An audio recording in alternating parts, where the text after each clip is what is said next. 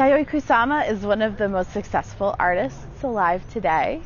Uh, we are thrilled to hold this exhibition here at the New York Botanical Garden because it gives us the opportunity to explore her art through a new lens, examining Kusama's work through the lens of her deep engagement with nature. We have a mirrored environment called Pumpkins Screaming About Love Beyond Infinity, where you can be enveloped in Kusama's own view of pumpkins, uh, reflected and magnified into infinity.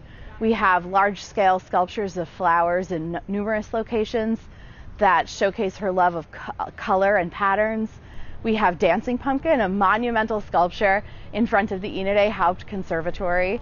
It's 16 feet tall and you can actually pass through its tentacled forms. It's a pumpkin that looks like it's about to sort of creep away into the landscape. It's very dynamic.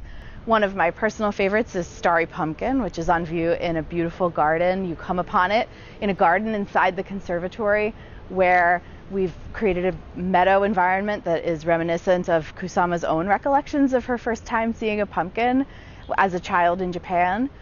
You can spend an afternoon in our native plant garden where Narcissus Garden is floating in a pool, and as the winds change, uh, the the orbs clink together and move apart. It's incredibly meditative.